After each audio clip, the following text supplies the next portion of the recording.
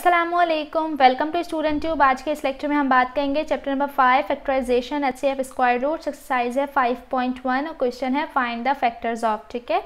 तो आज का जो क्वेश्चन है, वो है fourteen x square y square z square minus four x y z plus four ठीक है?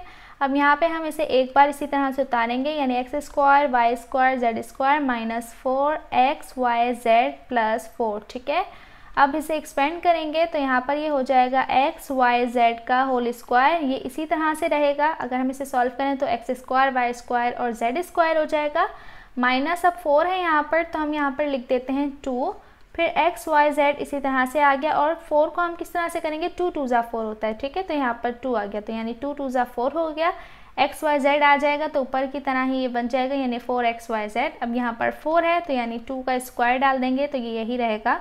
फोर टू टू ज़ा फोर ठीक है? अब as we know that a minus b का whole square is equal to a square minus two a b plus b का square तो यहाँ पर ये इक्वल हो जाएगा एक्स वाई जेड हमारा ए है देन माइनस और बी क्या है? टू तो इसका होल स्क्वायर आंसर तो ये था हमारा आज का क्वेश्चन उम्मीद करती हूँ आपको बहुत अच्छे समझ आ गया होगा। मजीद क्वेश्चन के लिए मेरे चैनल को कर दें सब्सक्राइब और साथ ही अपने क्लासमेट्स एंड फ्रेंड्स से शेयर भी ज़रूर करें। मिलते हैं नेक्स्ट वीडियो में। तब तक के लिए दुआ में याद रखिएगा। अल्लाह हाफिज़।